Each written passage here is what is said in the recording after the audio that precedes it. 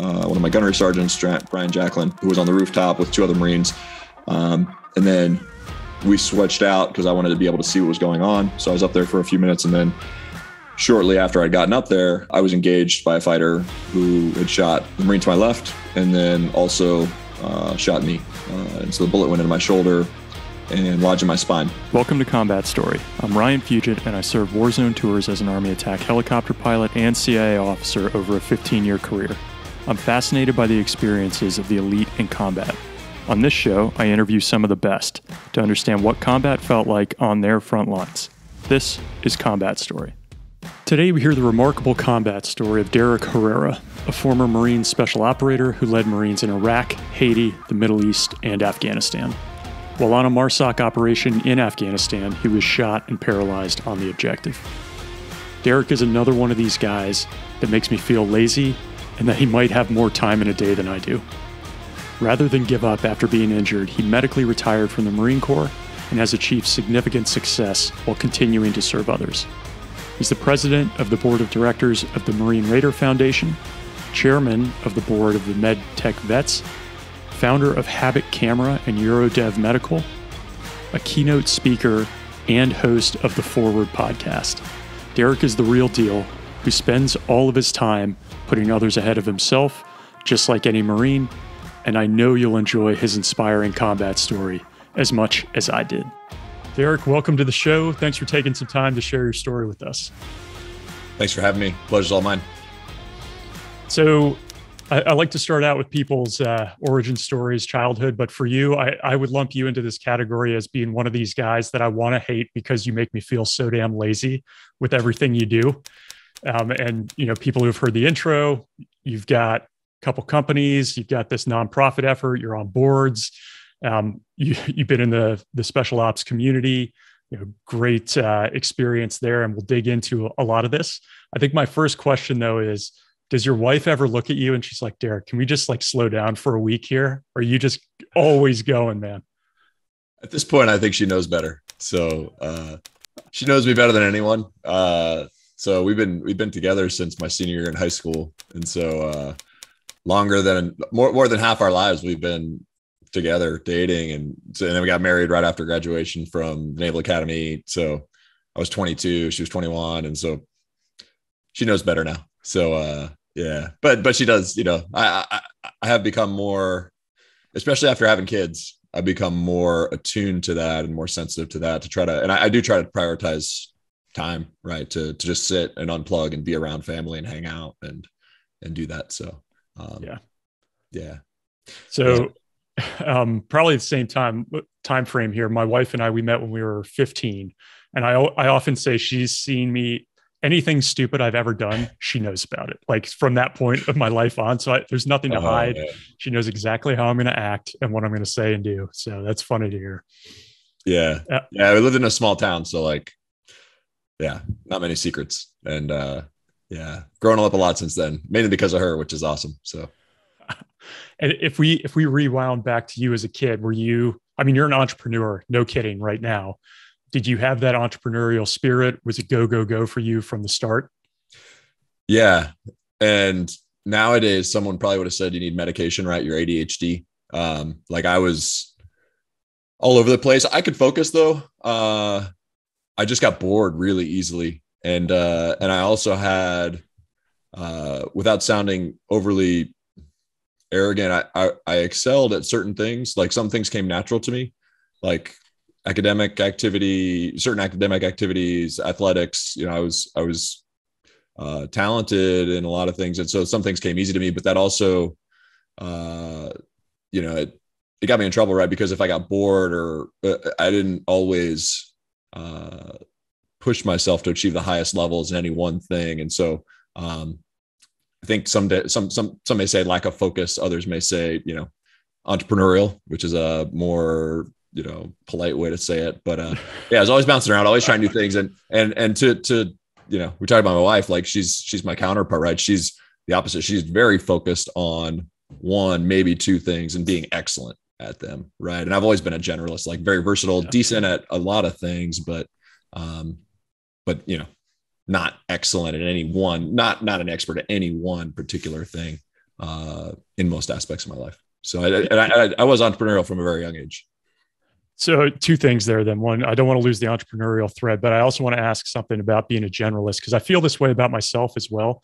Do you think that that's maybe a positive attribute for an officer in the military? Yeah, yeah. I think so. I don't. I wouldn't wait uh, generalist for specialist in any one way, with the exception or the caveat that you have to be self-aware, and so um, knowing how to manage a variety of tasks, a variety of situations is good, but also being an expert in, in a certain situation is, is also helpful. Uh, I think where people get into trouble is if you're a generalist, but think you're an expert, or if you're an expert and think you're, you know, versatile in a bunch of areas, that's where I think people get into trouble. Um, and so I think just as a leader, leadership, uh, one of the most important things is self self awareness, right? Uh, and so if you're self aware, I think you're if you're if you're self-aware enough, you can compensate for any lack of expertise or or lack of expertise, you know. Yeah. Yeah. Uh, in that regard. So and then the entrepreneurial angle that you brought up. Um, what are some examples of you and that as, as you're growing up? Oh man, I uh I have tons. Um I bounced around from job to job in high school. Like I was like, you know, trying this, doing that. Like I was a lifeguard initially, and then I was a dishwasher at a pizza place uh, which was awesome. It doesn't sound very entrepreneurial. And then worked at a making subs at a convenience store, a Wawa. For those of you guys on the East Coast who know what Wawa is, that was my real like uh, that was my jam for a little while. And then I was a customer service rep at a like a Dell call center, uh, which was terrible. I only lasted like a week after training before I quit because it was just like mine, like the worst um, experience ever. But but I was bounce around and uh, tried a lot of different things. Um, and then business wise, you know, I didn't, I didn't start any businesses or really do anything in high school. Um, I was really focused on trying to get into the military and, and things. And so, uh, it was probably later when I, I, th- I think I was in college, probably when I had my first like side hustle in business, um, besides just traditional jobs, but I was still entrepreneurial in that regard. So just real quick before we get to what that side hustle may have been, what, what made, uh, washing dishes at a pizza joint so awesome? Uh, it was awesome because at that time in my life, I was 15, and so no one else would hire me because you had to be 16. And so I was just like trying to get a job, wow. trying to get a job, trying to get a job, and um, and uh, went into a pizza place and just you know, as you're you're a former CIA, right? So you know how like the the law of like just walking in there like you own the place or like you belong, how that impacts people. And so I just you know, you know, was overly confident and walked in there and they didn't they never asked. And for months they never asked for my driver's license or anything. And so I was getting paid. And so I had this job and and then the job actually I was fulfilled because I was doing something. It was menial labor right? I was just washing dishes but like uh was making money and uh and then I also got two slices of free pizza every or you know it's like it was there cool. you go. It was easy yeah. you know? And one of my friends from high school had worked there. He had he'd like told me about it. He's like hey man like you should apply here and they probably won't ask you for a driver's license. And uh and so i did and then you know so it was fun. It was a lot of fun. Was was finding those jobs for you was that because you needed the money or you just needed something to go do because you were bored? I was trying to make money uh just to be independent right i was 15 and, and i was in a small town in delaware and there wasn't tons going on so nowadays like most parents probably don't want their kids washing dishes from like 4 to 10 p.m. on school nights, you know, three nights a week and whatever. But my parents were like, they, they also knew I was entrepreneurial and try to new, like weren't overly controlling. And so I just got a job and came home and said, Hey mom, I got a job. Can you go to, and she's like, Oh gosh. All right, fine. Uh, like we'll go with it. So kind of like my wife, like they, they knew not to like try to like push me any one direction, but just to let it, just let it happen. Right. Like just let it go. Yeah. What happens. Um, so we'll, we'll jump to the side hustle in a second. I guess you mentioned you were always kind of focused on the military. Did that come from your folks? Where'd that come from? Yeah, it's been the family business. So my grandfathers were enlisted in the Air Force for um, careers in the Air Force. So one was 25 years, the other was 28 years. Uh, they were both enlisted, and then they ended up in Texas, and that's how my parents met. My parents met in high school as well, um, in Wichita Falls, Texas, near Sheppard Air Force Base. Then my dad was an Air Force Academy grad and a pilot and spent a career in the Air Force um, until he retired. Uh, and so I was always exposed to it, always, you know, moved around a lot. Um, and never was like pushed into it, but always just, expo- you know, and, and then ultimately what, it, what the clincher was, was, uh, you know, learning about Navy SEALs and watching the movie with Charlie Sheen, where, you know, I saw that and I was like, yep. that's what I want to do with my life. I'm going to go do that. And, uh, and so did that and then was fortunate enough to apply and, and get accepted in the naval academy and, and kind of pursued it from there Interesting. Okay. So you've got two grandfathers who are Air Force. Your old man is flying planes, and then you take this route. So any was there any family discussion there or how'd that no, go? No, a little bit. My dad, my dad was just happy. He's like, Hey, you should apply to West Point and Air Force too. And I applied. Um, but at the time, uh, I lived in Delaware and had this girlfriend, right? And I was like, Hey, I want to stay close because uh, my wife now is there. Um, I also was getting not recruited, but was allowed like in contact with the coaches for lacrosse and was able to walk on there. Um, and uh, and I wanted to be a Navy SEAL, and you know Annapolis is pretty awesome, and uh, as it is, uh, way better than West Point. So uh, Air Force Academy is cool, but you know, but different as well. And actually, I, I, lived at the Air Force Academy for two years with my dad in middle school, and it was awesome. But um, but Annapolis is where where I wanted to go. Yeah, and so, so once I got in, I, I didn't even finish. I had like the other applications in process and just didn't even bother because I was like, all right, I got in, I'm done.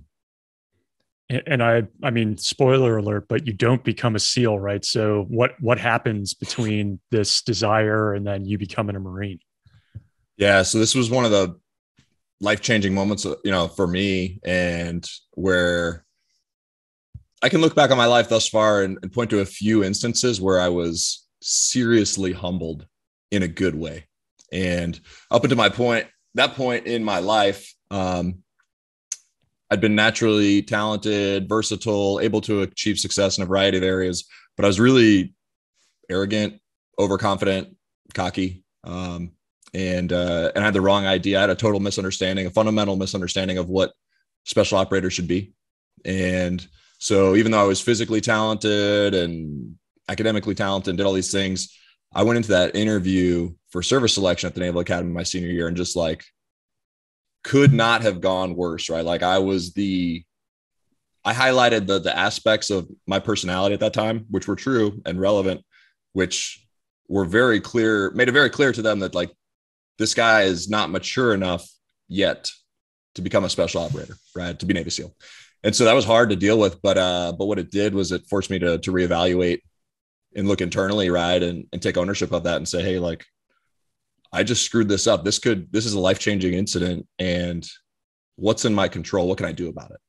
Uh, and the reality was, was I could be a better person, right? I could learn uh, to not be arrogant, not be overconfident, to be uh, more humble, more hardworking. Uh, you know, to to change a lot of the, the things about who I was up to that point in my life, uh, so that in the future I would be more successful and I wouldn't be, you know, I, I would learn something from that, right? And that this lesson wouldn't go to waste. So I'm not familiar with the service selection interviews. Is this like a maybe your junior year? When, when does this happen? And what is that? Is it a series of interviews you sit down or is it one person kind of deciding your fate? It's uh so it's kind of it's kind of high stakes, right? So it's like, got to be intense so the way you just described senior, it, man. Yeah. So your senior year at the Naval Academy, um, so up all up until up until the point from the time you're a plebe until your senior year and you graduate, you can kind of start to get more uh, focused on your path that you want to pursue. And so, like, you know, each summer you're doing summer trainings, just like you do with ROTC, like Corpsman and all that stuff. Um, you have to go on ship for a little bit, but you know, you can kind of put yourself in a position to try to explore more. And then, like, right before the senior year they do a, a period of training called mini buds which is kind of cool and i think they still do it today but uh, people that want to select to become a seal will kind of go through a little like weekend mini hell week screener at the naval academy and then you can get one of the slots and then you go out the summer for four weeks and you go to coronado and they just like train you for you know a few weeks and you get a taste of it and they can kind of see who you are and you know how you perform in certain aspects um, and then you come back the senior year, and in the fall of the senior year, you start to do these interviews. You have to list, you know, so you go number one through number six for SEAL, submarines, ships, planes, whatever, Marine Corps. All you, you rank order everything from top to bottom based on your preference. And then there is a selection process whereby the most qualified people get matched with the jobs that they want. Um, and so for SEALs, it was competitive. So there was like probably 40 to 50 people who were applying to become a SEAL officer. It's very competitive. I had 20 slots um, or 23, I think, the year that we graduated. But uh, they go through that. And then, you know, they kind of see your package and your history and everything else and uh, what you've done as a midshipman for the entire time. Um, and then they bring you in to a, a room with like things like five to seven SEALs enlisted an officer that come in there and they're boarding these people because for them they're investing time because this is going to be the future of the officer corps of not the future, not all the SEALs, but yeah, half of them or so come from academies, I think, and then the other half come from ROTC for these slots. And there's not a ton of slots, so this is very integral to the culture of the SEAL pipeline and the SEAL community. And so they send people out to come, and you're in there for I think maybe 20 or 30 minutes with them, and they just review your package, ask you certain things, and so uh, my package wasn't overly compelling at the beginning too, because I had gotten a lot of trouble as a midshipman. I was, you know, arrogant and breaking rules and whatever, and I almost got kicked out my freshman year uh, for doing stupid stuff. Um, and then when they asked me about it, you know, they're like, "Hey, what's what's up with this? What did you? What's the deal with this?" And I, I said, "Oh well, you know, yeah, I, I made some decisions. I took some liberties I shouldn't have, but uh, you know, it wasn't that big of a deal, right?" And they're like, that's not you, you don't sound like you learned anything, right? Like, and then it just went downhill from there, right? It was, like, it was bad, right? And uh, yeah, and, and I just I could it couldn't have gone worse, but it was one of the best things that could have ever happened to me, right? Because I learned so much from it, and it, and it changed my life, right? Um, in so many ways. Did you rebound as fast as it sounds? Like, I mean, and you had already done the mini buds the the summer, and then you get out to this. I mean, yeah. it was it was pretty it was pretty sad. I, you know, it took a while to pick myself back up. God um, dang, man. But you don't really have a choice either because then it's like, all right, I didn't get my first choice. Am I going to get my second choice? Am I going to get my third choice? You know, do I just keep wallowing in self pity or like, how am I going to maneuver myself to get a career that I'm not going to hate? You know, yeah. Uh, yeah. and so then I didn't get my second choice either. And then I was about to get my third choice which I was debating on, and I was talking to someone, and luckily a mentor of mine intervened. So I was, I was deciding between the Marine Corps or the submarines uh, as a submarine officer, because as a submarine officer, you get paid a ten thousand dollar bonus for if you get accepted, and then whatever. And I was like, all right, fine, ten thousand bucks sounds good. I don't have any money. Like I'll do five years and get out, and whatever.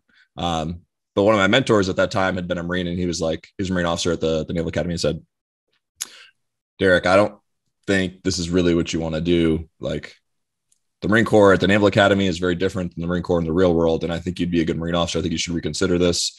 I'm willing to help you and go to bat for you with the selection committee, even though it's your third choice and even though you you know you didn't get selected for these other choices, but only if you promise me that like this is you you know look me in the eye and tell me like this is what you want and you commit to this 100% right and i was like I'm in. Like Damn. this is you're right. Damn. And uh, and he did, and I was really lucky because that year the Marine Corps ground slots were competitive as well. I think there was over 400 people who put it as their first choice. There were only like 200 slots, and somehow you know he was able to help me be competitive as an applicant and get that slot. And if I hadn't, I wouldn't be a Marine. What was number two on the list? Out of curiosity, uh, it was Navy EOD, so Navy uh, Special Operations. So, um, wow, yeah, which is a cool job. I mean, it's it's yeah. awesome. It sounded cool, but didn't get that one either. So, damn, how interesting! And now looking at at what we're about to talk about and where you sit now, and you're on a board for the Marine Raider Foundation, like so it seems like you landed in the right place. Needless to say, damn. Yeah, I I wouldn't change a thing. All right, let's. Um, I, I want to make sure I don't lose this. You mentioned you had a little side hustle or two going on in college. I don't know how the hell you do that at the academy, what what were you doing?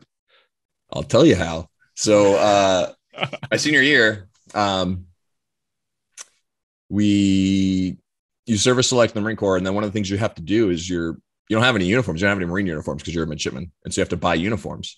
And the people that they have access to to come sell you uniforms, like upcharge a ton, right? And it's like, oh, I don't know, I don't know. It seemed like a lot. They were like, oh, it's like a hundred bucks for a camouflage pants, a hundred bucks for, and so as a midshipman, you don't have any money, and you're like, man, I got to spend like five thousand bucks just to get uniforms. I got to spend a thousand bucks on a sword. I got to do all this stuff. So, so at that time, um, I realized there was an arbitrage opportunity because I'd you know seen eBay and bought stuff on eBay and everything, and so I was buying used uniforms and used boots and stuff like that, like camis and all that stuff.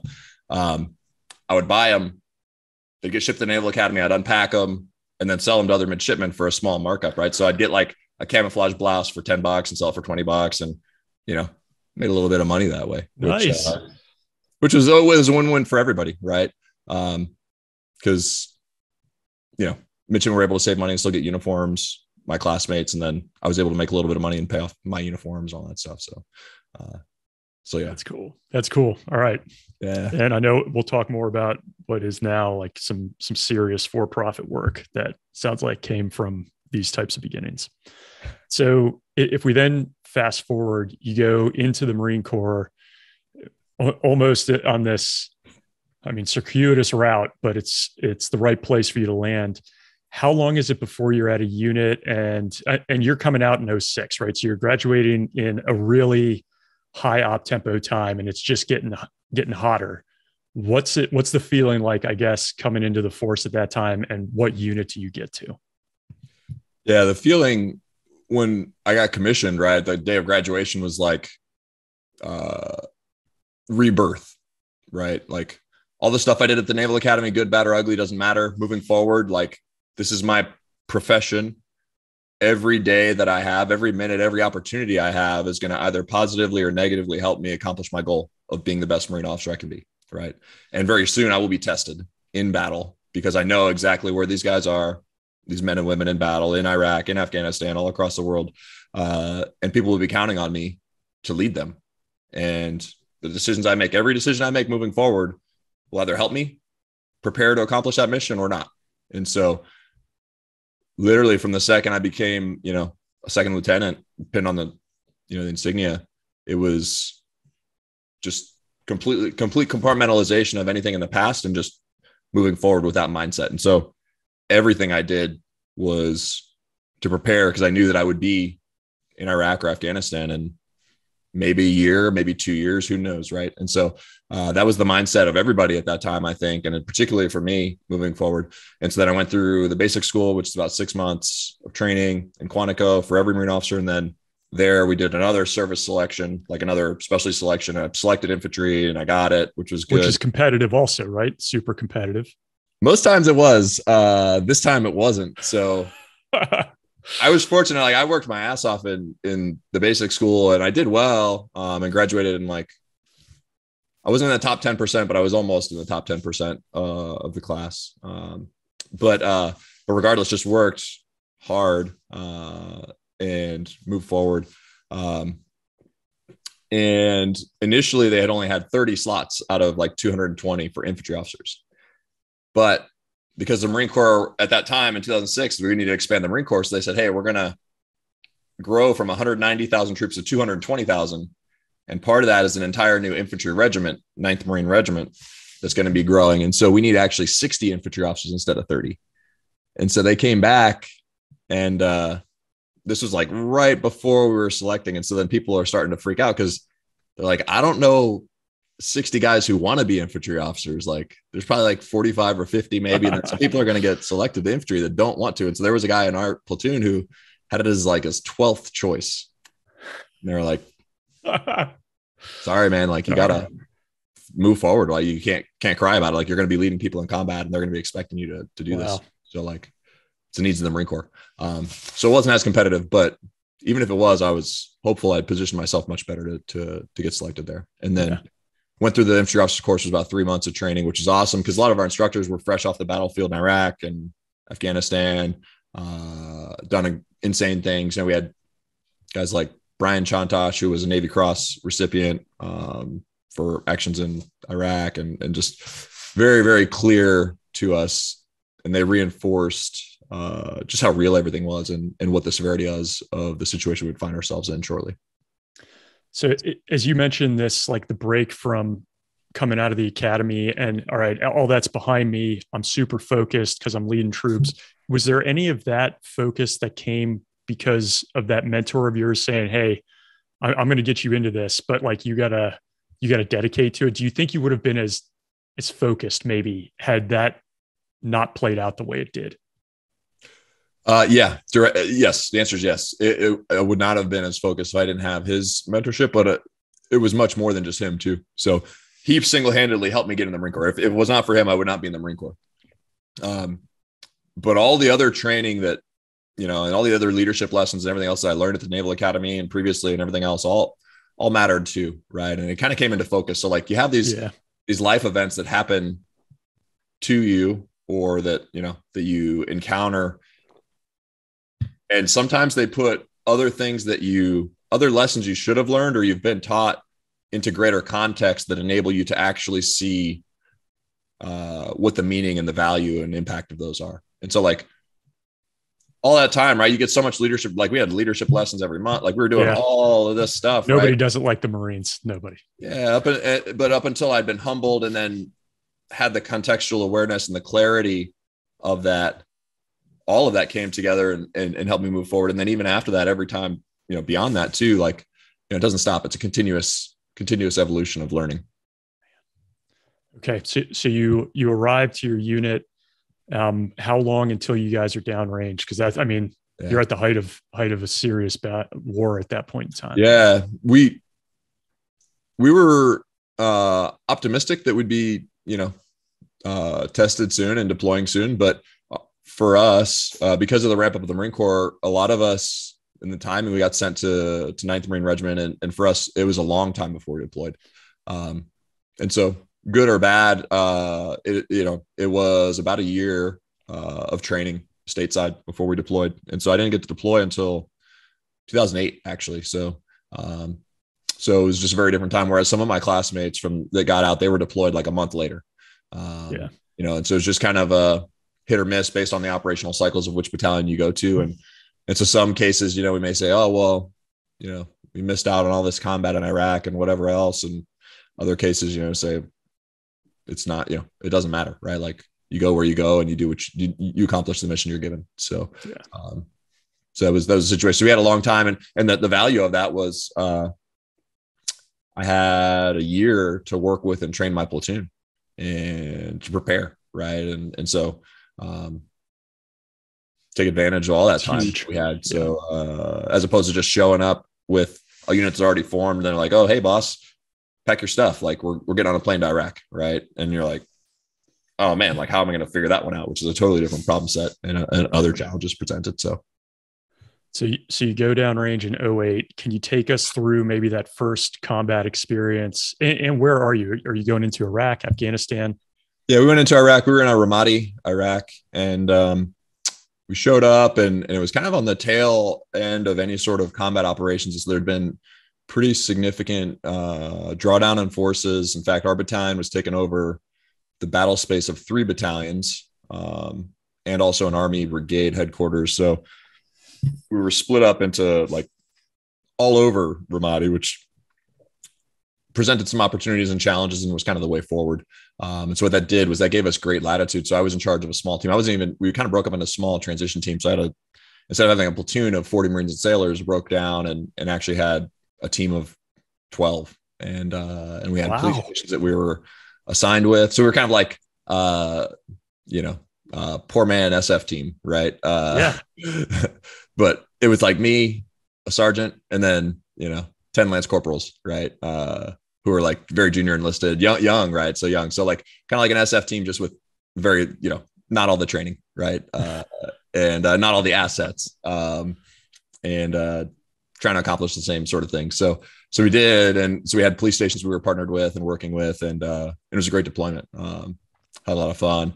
Uh, first time going out of the wire, you know, was interesting, but at the same time, you know, it was very peaceful uh, and non-combative uh, in that regard. And so the first real, I think the first real um, combat operations we had, we didn't we didn't really engage in much combat during that time, but we were supporting a lot of things. And so what that strategy allowed us to do was allow the Iraqis to take the lead in all of the policing efforts and any sort of combative efforts, and they they were in combat, um, doing things, uh, and you know, getting attacked and and all these sorts of things. Um, the operations that we participated in were much uh, much different. So, for example, one day we told them, and th- and this was this is an interesting story. So one day, you know, like we told them, hey, uh, we have this intelligence that there's someone uh, who's likely going to pack explosives into a scooter and use it to detonate and uh, use it as an IED, an improvised explosive device, a scooter IED, right? And they're like, oh man, this is dangerous. You know, the police chief's like currently he's like talking to me. I'm a 23 year old second lieutenant. He's a 50 year old experienced Iraqi police chief. And he's like, don't worry about this, you know, Lieutenant Herrera, we're going to take care of this. And so I'm like, all right. And the next day I show up and it's like parking lot of scooters, right? So they just went through online through the entire town and impounded every single scooter in a town of like 50,000 people. And there's things that like hundreds and hundreds of scooters. I'm like, all right, like not the way I would have done this, but effective nonetheless, I guess. So, uh, did, yeah. did you send the EOD guy to like inspect every one of them basically? I should have. Uh, we didn't have an EOD guy, right? So like, yeah, we, yeah, yeah. So we were just kind of went with it, but um, but that actually got them in trouble too. So like, uh, similar situation. There was towards the end of our deployment, uh, a very catastrophic incident. Someone had packed a lot of explosives into a a truck, a pickup truck, and our policeman went out and they kind of phoned in a tip, and our policeman went out and kind of did the inspection on it, but it was high quality uh, job that the insurgents had done, and they'd hidden the explosives very well in the truck bed, about 150 pounds of explosives. Uh, so they got in, and they were like, "Oh yeah, the keys are in it. Okay, cool." And so they're they're bringing it back to the police station as a prize, right? Like, look, we just got this new pickup truck that somebody left on the side of the road, and then it detonated and killed uh, driver and passenger. But then seven policemen had jumped in the back to celebrate, right? And so the thing goes off and just like terrible day, right? But um, you know, we just responded and, and tried to help support however we could uh, for those incidents. but uh, but just weird times. But it, but luckily for us, there were very few and and far between incidents of of combat on that deployment. Um, the only one that came close, we we did uh, we did raids. So my team actually did a lot of raids in the on that deployment where uh, we had information about someone who was planning certain things or may have been a threat. Um, but at that time, every time we'd go in and you know uh, capture them, uh, there would not be any you know wouldn't be combative, right? We would sneak up, take them, and then take them back and process them. Uh, so we were successful. I think five for five on some of those like missions, which were yeah interesting. Um, and yeah, so that was that was kind of the deployment. So, a couple things there. How, I mean, did you train up for that type of combat? Where, like, I I think most of us envision a Marine platoon is is working together with your 40 guys. It's it's got this more um, kind of deliberate mission set, and then all of a sudden you're with 12 folks like platoon minus to the extreme. Um, how how was the platoon feeling about that mission set going into combat, especially for you as your first time in in the shoot? Yeah, I think for the leadership, we thought it was awesome because we're like, oh man, nice special operations. Like, yeah, we're gonna be out running around low people. Like this is, this is gonna be awesome. You know, it's our chance to be pretend special operators, right? Um, but for a lot of the guys, the enlisted guys, they're like, you know, like I said, ten out of twelve were fresh. This is their first deployment, right? And they're like average age of like 19, right? And so they're like, this is bullshit. This isn't what I signed up for. You know, like just gonna like go hang out and drink tea and do like, oh man, this what a waste of time. You know, like it was hard keeping everybody motivated uh, through that because um, they signed up to go. You know, they signed yeah. up in 2006 and they signed up to go fight, right? And go slay dragons, right? And go do everything that Marines are supposed to do. Um, and by the time they get there, it's like a totally different mission set than what's traditional of Marines. Uh, and you know, not it, it's more traditional of Special Forces and Army and, and FID mission, but a foreign internal defense mission. Yep. But um, most 19 year olds don't join the Marine Corps to, to go do FID, right? They join to go, you know, fight and close with and destroy the enemy, right? Uh, and so it was just, it was different. Um, and we found out that this was going to be the case maybe two or three months before we shipped out. So we actually tried to, we, our, our battalion did a really good job, I think, of preparing us because they overnight modified all of our training packages, all of our final exercises to, to try to mimic that and mirror that. And so, okay. So we had some time. So like previously where we would do a pre-deployment certification exercise or a final month-long exercise in the desert. It previously was called combined arms exercise out in 29 Palms, where you'd go and you'd be able to drop ordnance and do all of these very kinetic things. They kind of like very rapidly change that to where it's like, okay, well, you're going to be hanging out working with Iraqis. How do we get Iraqi role players in here? How do we get cultural training? How do we get, you know, all of these things that are going to be able to help prepare you for this mission? Um, we're pretty, I, I feel like organizationally it was, it probably could be faster, but it was looking back on it, it was pretty fast the way that the entire machine was able to, to integrate some of those lessons learned and prepare the training for us. Yeah. So I would love to talk just for a second as you as you were describing how like hey it's hard to motivate people who want to go do one thing in a job and they're not able to do it. And you you know for could be said you're you're in leadership positions from that point on until today um, and you run several businesses and efforts to this day and I, i'm sure you run into the same thing with people who are doing a job maybe they don't get excited about and you got to motivate them at that time did you have anything in particular you did to keep them motivated? Because i do believe a lot of people think oh they're a marine they're just going to salute and do what you say. But it that's the easy answer out and that's not the reality when you're day in and day out in combat right? So what, what did you do at the time for yeah. that? It was tough. The most the the things that i did i think that uh engendered rapport and respect amongst the marines was uh to not like sugarcoat things to be honest with them to be transparent with them and try to uh, advocate on their behalf, try not to waste their time, try not to try to minimize like the stuff we could control. So I, I can't control what mission we're given, right? If it's FID, if it's DA, I can't control what we're going to do in most cases, right? Like I cannot do that, but this is the mission we've been given. I didn't, you know, I didn't expect it either, but this is what we're here. This is what we're getting paid to do. We're going to do the job. We should do it well, right? Um, what I could control or try to control is to prevent wasting their time, bureaucratic nonsense, other shenanigans as much as I could. Cause we also had, you know, uh, my company commander on that deployment was, was an interesting guy. And, uh, you know, I learned a lot from him, good and bad. Right. and bad. Okay. Gotcha. And, uh, so like, you know, that, that was the best I could do was to try to say, Hey guys, let's just keep this thing on the right. Like, and over time, seven months is a long time. If people are like if you're already kind of unhappy, but then you have additional stressors placed on, and this is something I think translates to the corporate environment. If you're already not overly excited about your job, and then you have additional stressors which could have been mitigated or are completely unnecessary, that your leadership, you think your leadership could have handled or could have advocated better for you, like you're gonna like it even less, right? And uh, and so for me, the way I kind of saw myself was like, all right, how do I absorb as much as I can and protect them from all of this, not create additional nonsense and at least be honest and transparent with them. So we're like, you know, I'm not trying to sell them stuff that isn't there or like, you know, try to motivate them, right? Like you, you can try to motivate as much as you want. You're like, hey guys, we're going to go out and, you know, we're going to go build this school and it's going to be awesome. And I know this is what you signed up to do. And you're like, yeah, it's important, but like, you know, uh, you don't have to like oversell. So, yeah. um, and I find that the same way now and like corporations, right? It's like just being genuine, being authentic. You can be transparent in most respects, but then also just trying to be a good leader and shield them from additional nonsense or anything that's unnecessary, which may also just like drive them nuts.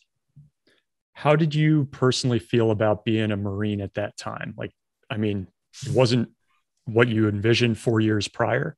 And now you're coming out, you're in and coming out of this deployment. What what was that feeling like for you of being a Marine now? It was awesome. I loved it. Like, so from the day, from the like, pretty much like every day moving forward from graduating, I, I loved it. Like, it was awesome. I had such a good time doing interesting things with great people uh, for a mission and purpose that I believed in. So, like, I didn't look back. Like I was, you know, I didn't look back. And then, and then, so that was out of my control, right? So like the past was gone. Moving forward, it's like, hey, what am I going to do now? Like I'm going to go be the best infantry officer I can be. And then beyond that, it's like, oh, am I going to stay in the Marine Corps or not? Like I like being a Marine. I love this job. Uh, I love the people. If I'm going to stay in, what else am I going to do? Right. And then that's where the ideas uh, had come together for like reconnaissance units or special operations community or screening to go to even more challenging situations and environments. Perfect. This is a good setup. So as we as we come out of well, maybe it's in this deployment. There it kind of comes full circle with the SEALs, right? Where you didn't get in to begin with, but then there's a point in time where they kind of need your help. And I was hoping you might be able to tell us a little bit about that. Yeah, so it was fun. Great, great deployment. Um, we had, for some of the listeners may or may not know, there's conventional forces and special operations forces operating in similar areas. A lot of times they have similar, uh, you know, operational areas, but there's a battle space owner, uh, one person who's responsible at the end of the day for what happens in a certain area. And so sometimes special operations units will own their own battle space. Sometimes it'll be the conventional forces that own it. Whoever owns it has to coordinate operations for that area uh, within those boundaries. And so the SEALs that were deployed to this area would coordinate all of their operations or at least notify us when things were happening and everything else. And so one night, uh, they went on a mission and somehow either didn't notify them or notif- I, I don't know the story of how the communications or emails or slides didn't go through or anything like that. But but what ended up happening was uh, the SEALs had intelligence or information that somebody was going to be implanting an IED in the ground, and they mounted a mission with some of their partners to go and and kill or capture this guy in the act while he's doing this. Um, and so they're like, "All right, it's going to happen at night. We're going to try to be sneaky. We're going to dress in local garb. We're going to wear what they wear. We're going to use AK-47s and Toyota Hiluxes, and so eight service members get dressed up, you know, and uh, go out. And we didn't get the memo, so I didn't tell my police or anything. And uh, and so they're out there in a relatively populated urban area in the summer in Iraq where it's hot, and our town had instituted a curfew at 9 p.m. So like the police were like, "Hey, if you're on the streets after 9 p.m., like we're going to arrest you or get you in your house, right?" Uh, but it's hot in the summer and there's no air conditioning, so almost everybody is on their rooftop. They're sleeping on their rooftops where they can see things, right? And so they see eight people get out of two Toyota Hiluxes armed, setting an ambush, and they're like, what the heck is going on? And so then they called a tip line because our police had at that point were mature enough to put out a tip line, like a 911, call your local police. Uh, so they call the police station, and our police had been pretty well trained at that point. They've been trained for, I don't know, five or six years before we got there by all kinds of people. And so they, you know, mounted a good operation with like 50 policemen and circled them and, and captured the SEALs and took them back to the station and zip, you know, like arrested them basically, the whole thing. Um, and we get a call and they're like, hey, uh, we got to go bail out the SEAL. Like, what the hell happened? Right. And like, sure enough, like they had done full exploitation and documentation of serial, like, because these guys have been taught No way. all the TTPs. So like, and so the SEALs, I, I meet them the next day. Someone else had gone to go. We coordinated their release and they drove back. Uh, but the next day, these guys are like, "Hey, um, you need to go in and make sure they delete every single image with our social security numbers, all of our weapon serial numbers, all of this stuff, right?" And so I was like, "Roger that." Like, yeah, I got you, man. Like, don't worry about it. So, uh, so it was interesting. Um, I don't know whose fault it was, but like, uh, yeah, they got bailed out. Uh, Nobody got hurt was- though. nobody got hurt and uh, and I was actually really proud of our police because they did a Yeah, really yeah. good job. Like capturing eight Navy SEALs is not, you know, it's not uh it's not an easy feat. I would say uh, by any means. Um, Oh man, that must have been a fate worse than than death for those guys getting getting rolled up and taken in. Ah. I don't know if they'll ever live it down. Uh, Yeah. I don't know too many of those guys because you know at that point I was just a second lieutenant infantry battalion, so we weren't allowed to talk to anybody, and they you know had their their cool base, Camp Marc Lee, Shark Base there on Ramadi, and uh, you know, and the only time I went there, I went there one time after that to coordinate a mission that we were doing with them after they'd learned that because they're like, hey. In light of recent events, do you guys want to go out and try to kill this guy that's placing an IED? And we're like, yeah, we'll go do that. Like, Nice. so, um, so anyways, we got to bail them out. Fun Did you story. go and do an op with them, like dressed in local stuff? No, we were not allowed to do that. We were not that cool. Um, in fact, when we talked to him, we are like, "Hey, yeah, I think uh, if we were to do that, it's going to look more out of place than just walking around in our camis. So if you're like mm-hmm. actually trying to blend in with the operational environment, like put on some camis like us and walk around like that, right? But yeah, yeah. nice. Dang. Okay, so so you come back from this first deployment. It's a good experience. Do you then decide, all right, I'm going down the special ops route? Yeah, yeah, so I'd, I kind of made my mind up at the end. I'd, I'd heard about this new organization called MARSOC, which was the Marine Special Operations Command. It was a small contingent of Marines that had recently been assigned to SOCOM. So up until 2006, there was no Special Operations Marine component. Um, there was recon and force recon, which were uh, highly trained and specialized units in the Marine Corps, but they reported to the Marine Corps, not to Special Operations Command. Um, and that was up to 2006. And so in 2006, they signed the order and there became MARSOC, or what we know today as the Marine Raider community. And so uh, they were creating it. They had created an assessment selection process, much like Green Berets. In fact, you know, they paid Green Berets to work as civilian contractors to, to, to do selection for us. Um, so very similar process. Uh, and so when I got back, after I got back from deployment, I talked to my battalion commander. I was like, hey, you know, I I want to go do this. I want to go to, you know, a reconnaissance unit or MARSOC or whatever. And he's like, we're not sending you to recon. You know, you're going to, you're not going there. You're going to be a company XO, right? Like you're going to deploy again. You're going to be company XO. I'm like, good to go. Roger that, sir. Uh, but then I was able to talk with the special operations recruiters and then get orders to go selection. I'm like, hey, sir, like, I know I'm going to be deploying again. I got another deployment, but like, can I at least go take selection for three weeks and just or 10 days at that time uh, and see, you know, see if I get selected. Whoever's like, fine, like, all right. Um, so I did, and I went through and I got selected. And then when I was at selection, what I found was the professionalism, the people, and you know, uh, really that was at the the level of professionalism and the people that I was around. It was the highest caliber Marines I'd ever been around, um, and the level of professionalism at selection was uh, higher than any other, you know, course or event or training evolution I'd been to that point. And so I was like, if I stay in, this is what I want to do. Right. And so I got selected, fortunate to get selected at the end of it. Um, and then went back to my unit and I had to go deploy again before I could get orders, but then I was able to get orders to uh, to the unit after that. Damn, so you did another deployment conventional. Yeah. Where'd you go for that one? Uh, I was on a ship on the Marine Expeditionary Unit. So we were transiting all over the Middle East doing non-combat operations, and um, and so we went to Haiti, Europe, Africa, and almost every country in the Middle East except for like Yemen, Saudi Arabia, and Iraq. Dang. Okay. So so you did your time there basically like Yeah, almost 4 years. Yeah, so it was a long time. And so like so one of my buddies, right? So one of my so and and the rule for MARSOC at that time is still kind of timing based, especially for officers when you could get orders. Um, but the rule was basically two deployments. So some people got two deployments in like 18 months, right? And yeah. they were over.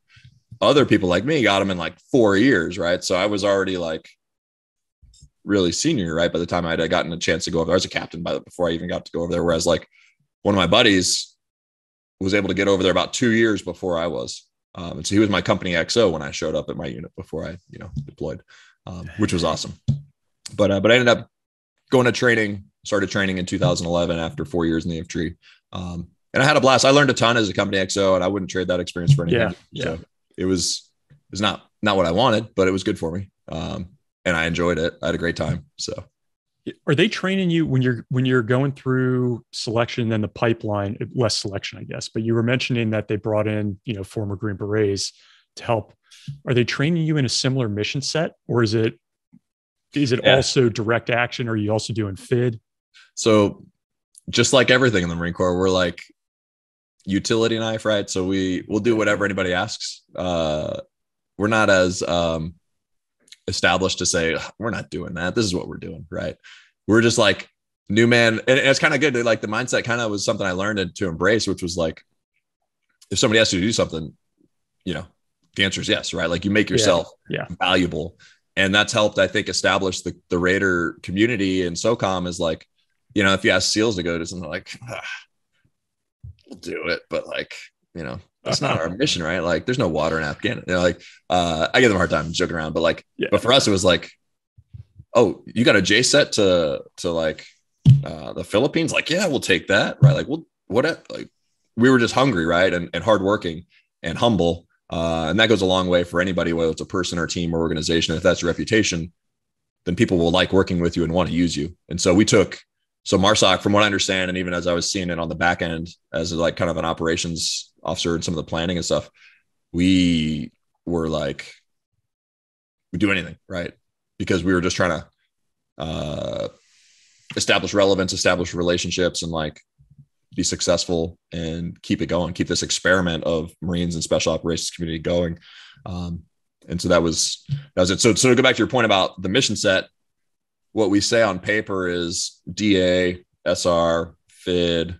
Uh, I think uh, I if it's UW or CT. Like we don't. I don't know if we have UW. We still do like we we basically do like a mini. We do Q course, right? So we have like kind of like a a Robin Sage like exercise, mm-hmm. which we call Derna Bridge. Um, we don't do diving or jumping, so none of that's in the pipeline. Um, I mean, we do it, but it's it's after you graduate, so it's not part of the pipeline like it is for SEALs and Green Berets and everything. And, uh, and we do language training and everything, but um, but in general, we're kind of utilitarian, right? And so like like we deployed to Afghanistan, you know, SEALs are doing the same missions that Green Berets that we are. You know, we're all yeah, kind of yeah doing it.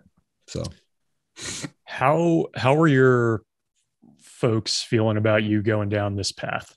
Right. I mean, you kind of have the departure going to the Navy, then you're in the Marines, and now you're getting deeper into special ops. Like, yeah, how did that go? They were just happy, right? They're just, I'm sure they were worried about me, but they never once were they like overly, you know, I don't, I can't remember a time they were overly like concerned or scared. I think, I think it's similarly kind of like the way they, they treated me when I was growing up. It was like, you are an adult, not like you're making these decisions, like you're we know better than to try to like influence talk you out of it. Yeah. Yeah. Like, because we know if we try that, like you have a history of, of being kind of like anti-authoritarian and rebellious. And so like, we know if we say anything to do that or try to influence anything you do, like you're just going to want to do it more. Right. And like faster and hard. Like, so, you know, we're just yeah. proud of you for what you're doing. Right. They, they were just proud. Like they were very proud of, you know, and they still are very proud of, uh, being in the military, serving the country, all those things. So uh, they didn't care that I wasn't a pilot or that I was, you know, but uh, but obviously, um,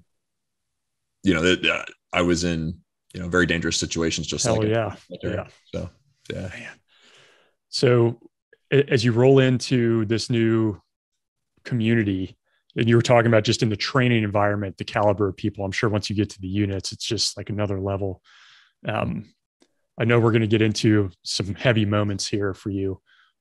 Um, just timeline wise, are we talking like 2011? You're arriving, and how yeah. how many deployments do you end up doing with them? Yeah, so I arrived in 2011. Uh, that's when I graduated from um, the individual training course, which is kind of like the. It was about eight months, I think. It's kind of like a Q course, um, very similar. Uh, to to that. And so from 2010 to 2011, I did that. I transferred from North Carolina out to California, uh, to Camp Pendleton, California, to First Marine Raider Battalion.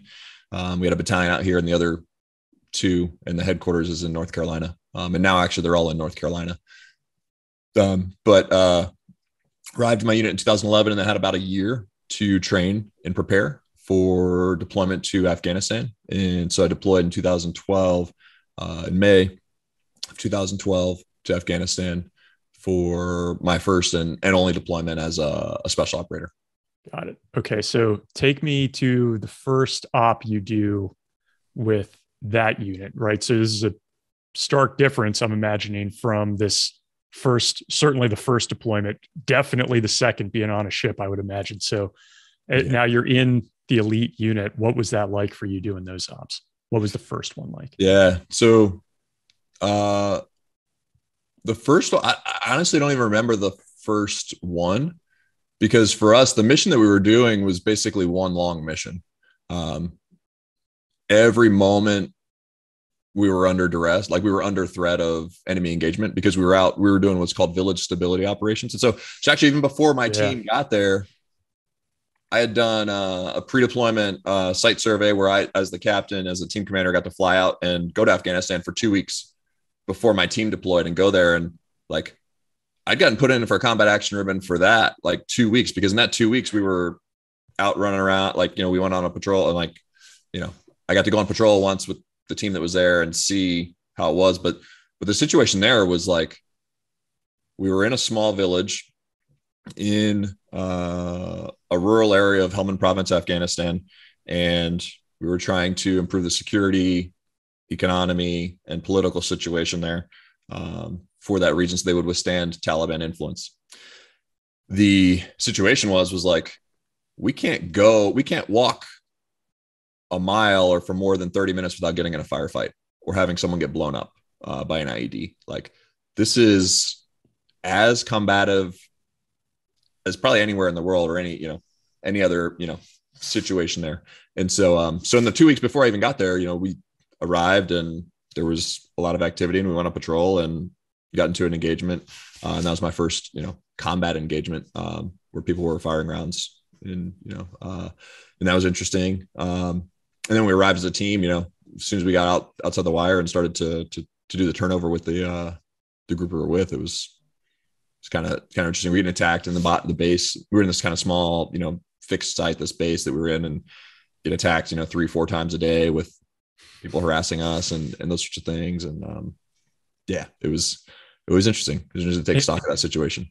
Yeah, and stability ops. I mean, we're talking about as you described, like building up the economy, just the local services like you're out in the day i would imagine you you're you're not doing these surgical strikes at night where you choose the time and location necessarily like you're just yeah. out there hanging it out yeah yeah yeah it was nonstop and so like the situation on the ground it was it was interesting. So um we arrived and we were getting attacked multiple times a day. And as a team we kind of came together and uh came up with a plan to to see what we wanted to do to address that. And it was like all right well like you know we're on this end of the spectrum. We're getting attacked three to four times a day. We can't you know can't even operate effectively because of this. What can we do to change and turn the tide of this situation so that we can get some breathing room and then try to actually help maybe revive the economy or link political governance right which is the other two lines of effort but it's like hey if security is not there we're not going to be able to build a school, right? If there's IEDs in every single building and, you know, we can't go anywhere. So, so in lieu of that, what we decided to do is like, Hey, we can go out and find these guys or, or ambush them or kill them before they kill us. And if we do that enough, they'll back off a little bit or they'll stop being as brazen or, uh, you know, it'll influence the situation in a certain way. And so what we would do is we'd start to conduct these patrols um, and it wasn't surgical strikes. It wasn't, you know, removing people of the battlefield and capturing them and bringing them back. It was, we're going to go hunt down people and kill them as they're coming to attack us, right? Before they can do it, right? And so, how can we outsmart them? How can we maneuver, outmaneuver them, and set the conditions to do that, uh, and be in control, right? And, and establish a buffer. Um, because we're in this small site with just a small number of Americans and our Afghan partners kind of out in the middle of nowhere on our own. Right. And, uh, and so that was the, the decision we made at that time. Were, were you having to bait people to come out? No. In some way? No, they were just coming out no matter what. Yeah. And, and it was a trick. So it started when, it, when we first started, it was a lot, right? There was like three to four times a day. And then after a few of these missions, then they're like, oh, different situation. These guys are now proactively doing this. Um, maybe we won't send as many people to go do this, or maybe we'll change, like maybe we'll try to change things. And so what happened was they would send, you know, they, they had an endless supply of young people being ordered to go and try to shoot at Americans, even if they knew they were going to die.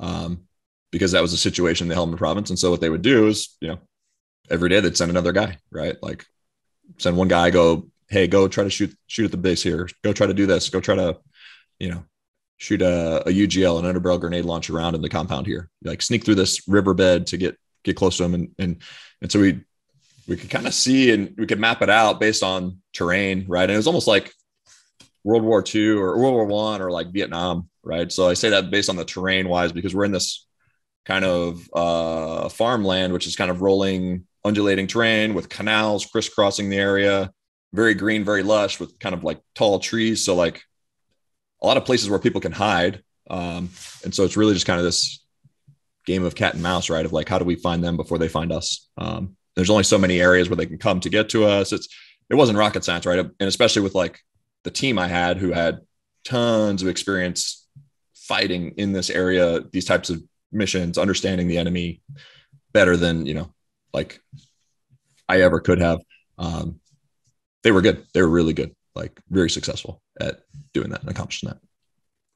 Can you kind of talk through what one of those ops would look like or those missions? Like, yeah, getting out yeah. and and setting up in a position or however you do it movement yeah yeah so we kind of prioritize the threat and uh and when we assess the holistic picture um we were trying to mitigate threats while still accomplishing what we wanted to accomplish the biggest threat to us at that time was ieds improvised explosive devices um and so they'd put these things everywhere like if there's an abandoned building, there's probably 20 of them in there. There's one in the doorway. There's one in there, like randomwhere, like middle of nowhere, middle of the farm field, like just everywhere. Because this area of the Helmand province, they call it the green zone. It's one of the only or the most fertile farming area in the Helmand province. And so they use it for growing crops. And in this time they were growing poppy because that was what was the most valuable to them. And so they were unwilling to just give this up without a fight. Right. And so um, and we weren't either, right? This is why we were there, right? We were trying to fight to help get rid of the Taliban, right? Who were, you know, growing poppy and, you know, trading heroin. And so, um, so, uh, they had put IEDs everywhere, like literally everywhere. Um, and the TTP for them was, hey, we're not going to fight you conventionally, just squad on squad, you know, direct fire weapons, rifles, that kind of thing. It's like, hey, we're going to put an IED every single spot that you could potentially walk or drive. And then we're going to put somebody out there and they may be, you know, six to 10 feet back in the, in, the, in a room, in a dark room, so you can't see them. And uh, they're going to shoot at you when you walk out on patrol. And they're probably not going to hit you, right?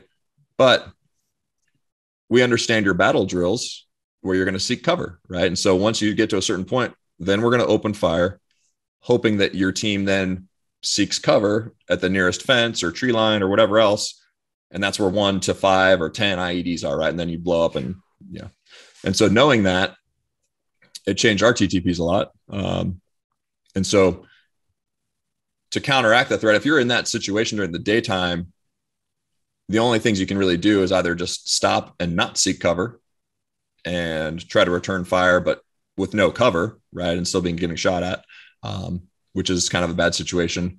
Uh, and inevitably, over time, that's going to cause you to rush, right, and to make hasty decisions um, with respect to the IED threat. And so, for us, what we chose to do, long story short, we would go out at night because they couldn't see us or try to drive. They, you know, they didn't have effective night vision capability at that time.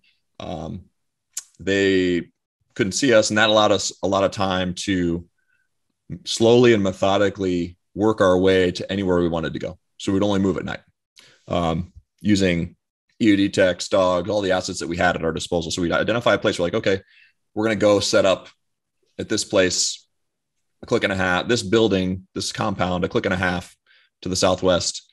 Here's how we're going to get there. We'll plan a mission and go out there uh, tomorrow night once we got in the compound, we'd stay there all day, come back the following night. So we'd basically stay out for about 24 hours because we didn't want to move anywhere during the daytime. Um, we'd stay there, observe for activity, fight from a from a fortified position. Um, you know, because we'd be able to set up and hang out there uh, behind you know thick walls, which can provide cover and concealment, and all these sorts of things. Um, and then we're not on the move, right? We're just kind of hanging, watching. We're we're in a position where we can affect the battle and fight that way. And so that was kind of the, the TTPs that we had at that time um, and how we were able to, to do that. And it was, it was pretty successful for us. Um, you know, one of the things I am proud of is too, is like, uh, during that entire deployment, no Americans were blown up. Right, we had nobody get hit by an IED. That's remarkable. Um, after seven months, right? And so you know the we were very cautious and methodical about that. Um, and so uh, I was obviously had plenty of other challenges and threats as well, but that was you know how we kind of handled that one. And then if we can jump to what I would imagine is the life changing moment for you and what that operation was like, yeah. if you could talk us through that. For sure. Yeah. So uh, it was June 14th, 2012. Uh, we followed that exact playbook for us, which was identify a compound, go out, set up. Um, and this one, it was a little bit further than we'd ever been. So it was maybe, I don't know, a click and a half from like 1.5 kilometers from our base. Uh, we got set up at night. It was fine. And it was also, we were also going out there to kind of do uh, a coordinated operation with the Green Beret team to our south. So they were kind of, they, they didn't operate at night. They operated during the day and they, they had a different style of operations, but they were like, Hey, we're going to start cruising up during the day and we're likely going to scare up some fighters. So this is what we're doing. We're like, oh, well, that's cool. Like, hey, if you're going to scare them up, why don't we just set a position, kind of set a blocking position where we are, and then we can work together to, you know, mitigate any threats that that come our way. Uh, so we got in there, um, and then you know, shortly after sunrise, they step off and have some issues and find some some bad guys, uh, and we find ourselves in kind of a firefight, uh, and that uh, escalated pretty quickly. Um, so about I think 7 a.m. Uh, after we'd kind of made an initial engagement, and you know, enemy was aware of our position, there were a lot of fighters that started to come and and uh, attack us. Uh, and kind of in between some of those moments, the firefight, uh, we are in these compounds, right? And it's uh, mud, brick, basically compounds. There's a house, and I say a compound, it's a house with a giant mud wall around it. Um, and so if you're inside the compound, you're protected and you can't see anything. But you know, if you want to be able to see something, you have to get up on the roof. And so we'd usually position people on the rooftop. But if you're on the roof, you could also be shot and injured, or you know. Uh, so it's this battle. It's kind of this this fine line of cover and concealment uh, while also maintaining situational awareness. And so uh, initially, I had my assistant patrol leader, uh, one of my gunnery sergeants, Brian Jacklin, uh, who was on the rooftop with two other Marines. Um, and then we switched out because I wanted to be able to see what was going on. So I was up there for a few minutes, and then shortly after I'd gotten up there, uh, I was engaged by a fighter who had shot uh, the Marine to my left, and then also uh, shot me. Uh, and so the bullet went into my shoulder and lodged in my spine. I was paralyzed from the chest down, and so I kind of slumped over. Tried to triage myself, realized nothing below my uh, chest was working. I felt the pain, so I got on the radio immediately and notified the team I'd been hit and that Ricky, my sergeant to the left, who'd been hit. Um, the third Marine was able to roll off the roof, but uh, that kind of kicked off their coordinated assault from multiple directions, multiple fighters, um, and kind of started this this you know engagement back up. Um, and so we had about 10 Americans and 10 Afghans in this compound. Uh, and so now two of which are mortally wounded or critically injured. Um, the other eight Americans, you know, coming together to spring into action to to try to get us off the roof, triage us, return fire, repel the enemy, call on a medical evacuation helicopter, doing all these things, uh, and they're able to successfully pull it together and do it and get us out of there. And so myself, I you know lived uh, and recovered. Um, Ricky was actually shot through the neck. He has actually made a full recovery. Um, wow, it was pretty incredible. Uh, so literally in one side, not the other. And nowadays you'd never if you saw him you'd never guess he was even injured right you'd be like you were shot through the neck it's like yeah um, but we are able to do that because uh, because of the heroism and bravery and selflessness displayed by the team and so uh, you know for me it was a pretty tough day uh, you know what i like to call the best and worst day of my life and so uh, you know it was the worst day of my life because you know i was injured uh, paralyzed from the chest down, which I'm still paralyzed this to this day, right, with no control or function below my level of injury. Um, worst day of my life because uh, I can no longer be a special operator. I can no longer, you know, be a Marine. Um, you know, devoted to the profession that profession that I'd, I'd given my life to to that point, and wanted to stay in for as long as I could because I was having, you know, so much fun and and doing what I wanted to be doing with the people I wanted to do it with. Um, but it's also the best day of my life because as a leader, uh, you know, it's all selflessness, bravery, and heroism that I think is unmatched, right? Period. Uh, watching the team that I was fortunate to be a part of come together and and operate in a capacity in that manner and and rally to save our lives and and to to get us out of there um, is something that you know I'll never forget. It's the only reason I'm here today because while under enemy fire, you know, they were still able to call in a medevac and, and we actually have video and, and, and images of this too, but they have to leave the safety of that compound to carry us to the helicopter. Uh, and that's not an easy thing to do, especially when, you know, you have two 300 pound guys in a poleless litter that you have to carry over uneven terrain with your kid on. And so because that, the second you step out of there, you're exposed and you also can't return fire. And so without hesitation to a man, the other eight guys and the Afghan partners all all helped, and uh, you know were willing to risk their lives to save ours. And so um, that's why I'm here today. How long do you think it was from the time you and Ricky get hit until you're on the aircraft and flying? It was a tough situation. It took a while, so it's probably about 30 minutes, I think. Um, wow. And so Murphy's Law, right? As as soon as that happened, um, our comms went down. I think our antenna rolled off the roof as well from Satcom. No way.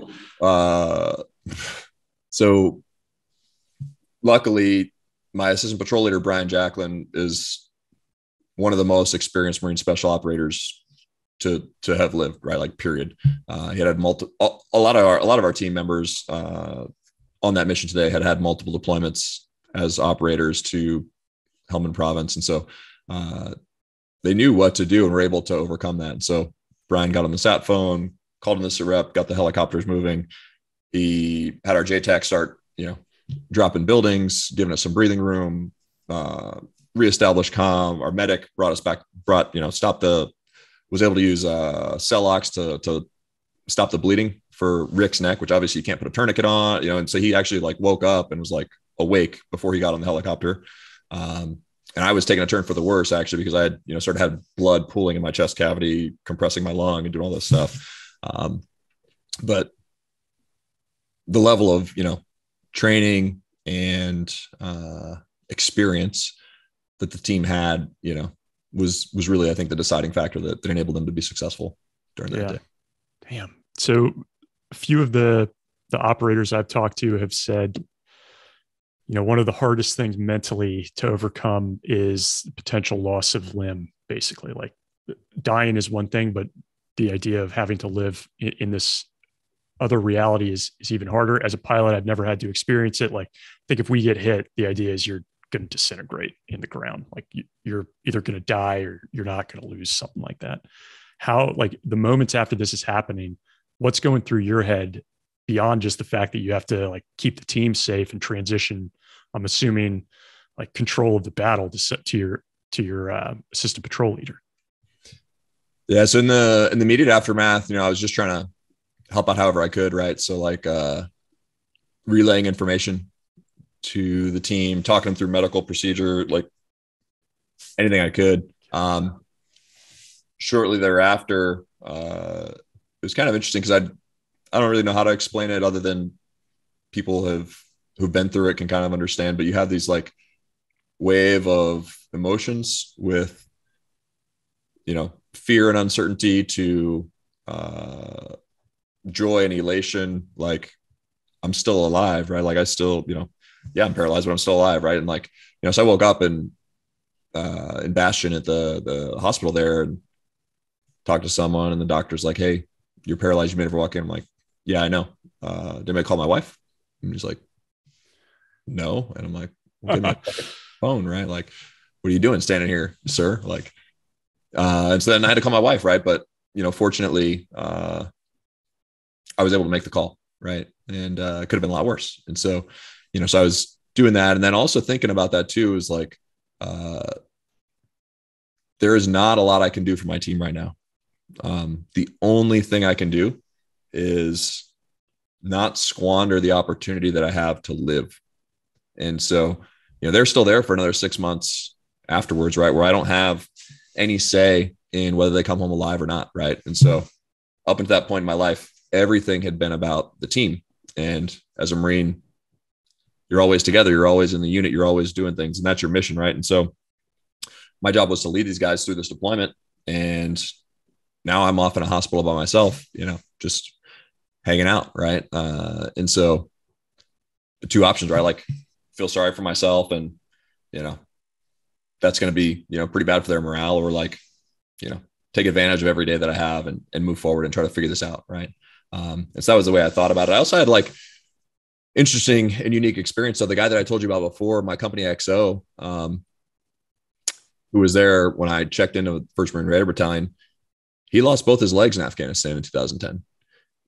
And he deployed with us back to Afghanistan in 2012. So my company XO, when we deployed, was a bilateral amputee above the knee.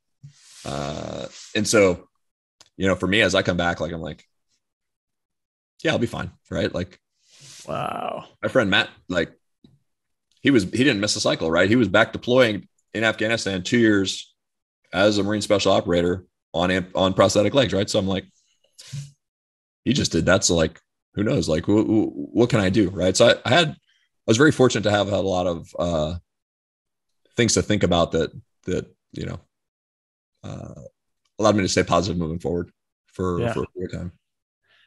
And I, I think I read that you go back into like a, an ops shop before you medically retire out. Is that right? Yeah. So what happened was I came back to Bethesda and then went to Tampa to the VA because I had a spinal cord injury and I didn't I didn't know anything about spinal cord injury. Um, it's you know they, they kind of tell you when you first get injured, uh, everyone is different. You may recover, you may not. We don't really know. There's no pills, you know, like there there's not there's no real treatments or therapies. It's like, hey, you may recover, you may not. Um, which is good and bad because it leaves you the opportunity to think positively and you're like, hey, I'm gonna get up out of here and walk out of here in six weeks. But then yeah when you don't, you know, at a certain point, you're like, well, maybe I'm not going to get up. Maybe I, maybe I never will walk again. Right. And so now what? Um, and so coming to grips with some of that is always tough. And so I was at Tampa and I, I also thought there would be like these new, I didn't know much about the medical system. So I thought, oh, I'm going to the world leading center for spinal cord injury excellence. And uh, they're going to have all these new breakthrough therapies and stuff. And they're, they're not the world leading center for experimental research, they're the world leading center for just like stabilizing people and keeping them alive. And so, like, okay, well, once I'm out of the hospital, I'm stabilized. What do you guys have to offer? And they're like, well, you know, you can lift weights and you can do this stuff. I'm like, cool. Uh, that's it. Right. And like, I can do that in California. I don't need to be here and uproot and be in Tampa at a spinal cord injury center for this. Like, I want to get out of the freaking hospital. I'm going to get home and, uh, and go back to work. Right. And so, good or bad, my choice was to, to try to recover by being helpful and valuable to the same community and the same people that I cared about before. And my chain of command was awesome. They were super supportive about anything. And I was very fortunate because, you know, our building was new and it was one of the only wheelchair accessible building. You know, it was a brand new building. Uh, you know, like had an elevator in it, right? Like, so like all of these things that I was very fortunate to have that a lot of people don't in the military. Um, and so they were like, Hey, yeah, we need a, assistant operations officer, right? And you can go do plans and policy, whatever, whatever, right? Like whatever you want to do. Um, I was like, cool. And so going back to the unit, that was more healing than like any sort of physical therapy I could have ever have done. And wow. also, we also had physical therapists at like because of the SOCOM community at that time, we have full-time physical therapists, we have full-time, you know, psychology, we have everything internally because of the resources that SOCOM has brought to bear for these units. And so, uh, so it was very fortunate. Couldn't have had a better place to to to work and and move forward. Why do you then decide to transition out? Uh, at that point, wanted to pursue something else. So the the job, so the program for the Marine Corps was called Expanded Permanent Limited Duty, and so there was temporary limited duty and expanded permanent limited duty. And so you could say I could have chosen to stay in the Marine Corps forever. But after one or two years, if I wanted to stay in, I would have had to retrain in a MOS that I could do. Uh. And that would have been like admin, supply, logistics, something non deployable, right? Like those sorts of things. And I was like, I love the Marine Corps, but that's not me, man. I didn't sign up to be, you know, to do this. And even though that's an important role in supporting and whatever else, like I found this other thing that I want to do and, and I'm ready to go. And like, this is it. And so at that time, about a year, maybe not even a year after I'd been injured, I went back to business school part time in the executive MBA program at UCLA. Um, and so, uh, you know, while I was sitting in the hospital, like it's like, oh, what am I gonna do with my life? Uh, maybe I'll go back to school. So started applying to schools like you know a month after my injury or whatever, and um, found this program which is awesome. Uh, and then while I was there, kind of came to this realization that um, a lot of things I can do in life, right? I can do whatever. I can I can find a job, right?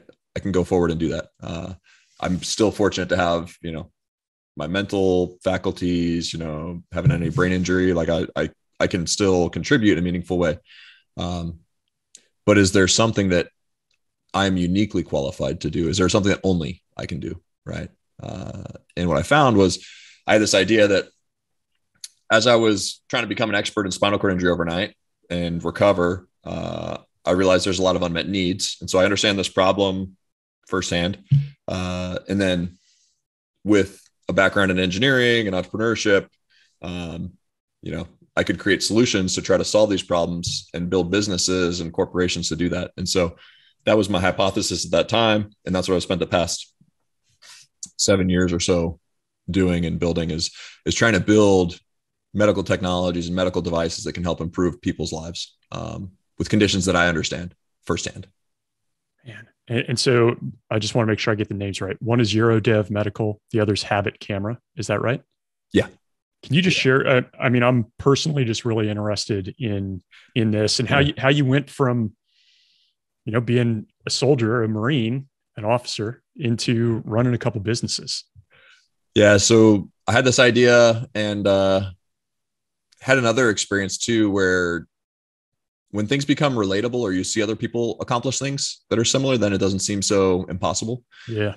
And so I'd gotten involved with another company that uh, is called ReWalk Robotics, and they make an exoskeleton device that enables people to stand and walk who are paralyzed. And so this is the only way I could stand and walk. And then I was using this technology when I retired from the military. I was able to do this without a wheelchair, right? Despite the entire retirement ceremony, the whole thing, um, which for me was a, a really important event in my life. But I was also able to meet the founder, and the founder of that company is a guy who's paralyzed, and he just like had an idea and started working on it in his garage, and eventually over time with enough time and resources and and and passion a company is now created that's commercializing this technology to help people across the world right? Hundreds of people thousands of people across the world uh, doing something that they thought they could never do again right?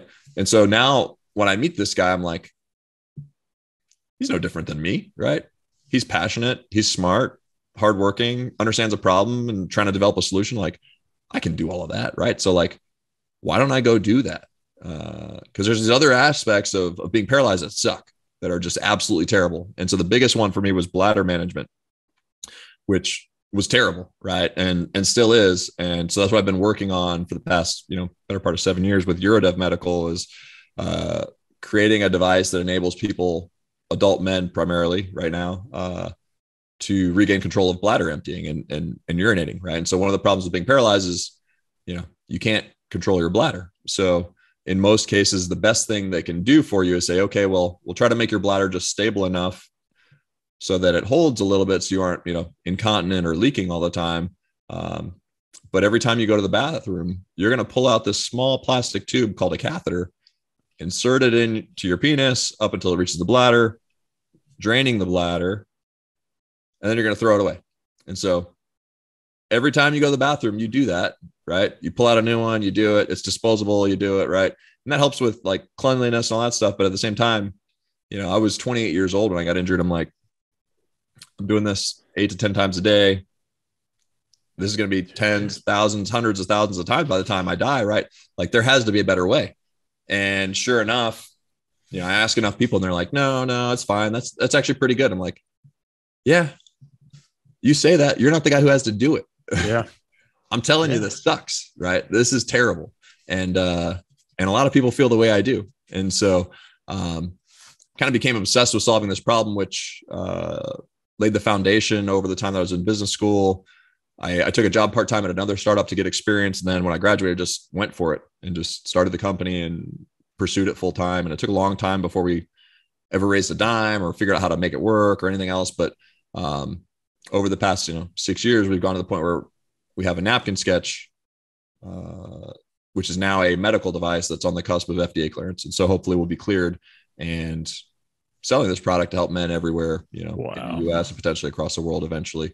Um, regain control of their bladder. And what, what it does, the device we designed is yeah. is a catheter. It's a smart catheter, but it's fully internal to the body. So it's a device can be easily inserted or removed, stay in the body for at least seven days uh, or up to seven days, and then can be remotely operated. So you can just push a button and empty your bladder. Uh, and so instead of sticking, you know, a new catheter in your body every time you have to go to the bathroom, you basically have this device in your body that you know you can just control. And so it's more natural. It's more like urinate, you know, and uh, you know and so just like before where i thought i'd never walk again until some other guy who was paralyzed created an invention and worked hard to create make it real and now i can walk again because of that technology in my mind the mission i'm on is all the people who thought they'd never pee again like now with new technology they can pee again right like this is urinate this is just like yeah controlled urination right and that's that's that's that's what we've been working on. And so, uh, so that's UroDev Medical. And then, um, now that that company's more mature, I've hired a CEO and I've implemented a transition plan and have, uh, you know, been doing less and less with that company. I'm still consulting and working, you know, to support them. But, uh, the CEO that I've hired is tons of experience, way more experience than me, is the right guy to take it to the next level. Um, and, uh, and will take it to the next level. Uh, and now I've kind of started to try to solve other problems, right? And so the habit camera is a, a very simple device. I didn't invent it. I just licensed the technology and the intellectual property from the VA. And um, that device is a very simple device for, for skin inspection. And so for people in wheelchairs, it's a big issue because you can get pressure sores or ulcers. And the treatment for that is, is pretty terrible. So um, if you have a surgery or one of these like issues, it's potentially deadly. Um, and the therapy for it is basically you'll have to uh, sit in a bed. You know, you'll be bedridden for like six months after the surgery, right? Like Forrest Gump style, like you can't turn over, right? Um, or for diabetics, you know, uh, if you have a diabetic foot ulcer that gets bad, they're going to amputate your foot, right? They're going to amputate your toe. They're going to amputate uh, something. And, uh, and so this device is just a simple, low cost way to inspect your skin uh, and then it's digital, so it also enables telehealth, and you can share it with, you know, your clinicians or caregivers or or anybody like that. And so um, it's that product we're we're excited about getting on the market hopefully soon too. God, you're making me feel like shit, man. That's awesome. You're, I mean, I'm really so cool. You're scratching your own itch, so to speak, but bringing people together and man, can we just talk briefly about the Marine Raider Foundation? I know you're on the board there and some other places. Yeah. Um, what's what, what's going on with you in that capacity? How the hell do you have enough time yeah. to do this? And what's going on there? Yeah, so um, Marine Raider Foundation is kind of like Navy SEAL Foundation, Green Beret Foundation, but just for the Marine Raider community. And so what we do is we we raise funds to support the Marine Raider community with uh, unmet needs from the government. And so um, anybody who's been injured or families of the fallen, uh, anytime they have financial needs or need support, we're there to help them uh, and remove a lot of stress from their plate. And so I was fortunate to be able to to have received support from the organization when I was injured because uh, it's a newer organization. Um, and so they helped me raise money to buy the exoskeleton because that was not covered by insurance. It's the you know when I came to them and said, "Hey, there's this thing like I want to be able to walk again. If I get it, I can do it." They're like, "We can help you do that." And because of that, you know, that was a life changing event for me, right? Because that injection of support financially, you know, which I couldn't have afforded the exoskeleton otherwise, uh, uh, enabled me to to have these experiences and remove you know significant stress from my life. Um, and so, uh, so after I left active duty, the organization, you know, they said, "Hey, do you want to be a board member?" I was like, "Absolutely!" Like, I will do anything to help give back to this organization because you know they've helped me in so many ways that I can never repay.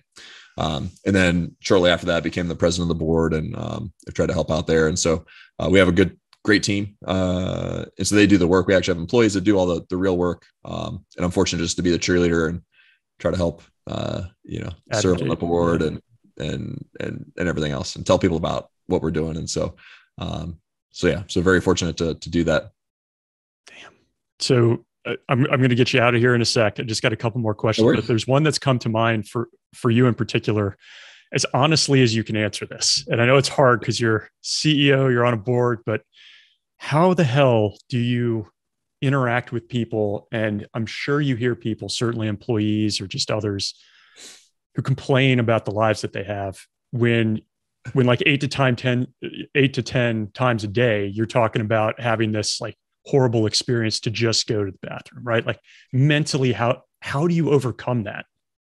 Yeah. Uh for me, it doesn't like it still sucks every time I do it, but I, I like I, I temper that because every day, you know, I have an opportunity to change it, right? We're getting closer and closer to changing that. And so that's that doesn't bother me, but but it is funny you say that though, because like uh as like I'm, you know, meeting new people and everything else, like uh most of them have the self-awareness that they just feel bad complaining around me and whether that's good or bad like they just i, I want to be a guy who like you should be open to and feel able like you complain like you know um and so i try to go out of my way to make people feel comfortable about that yeah. but at the same time a lot of times you know like uh you know a lot of people are like they they kind of self-censor i guess where they're like oh man, I just had a terrible day at work, but uh, like, tell me about it. Like, I want to hear about my latte was too hot, you know. Yeah, you know, uh,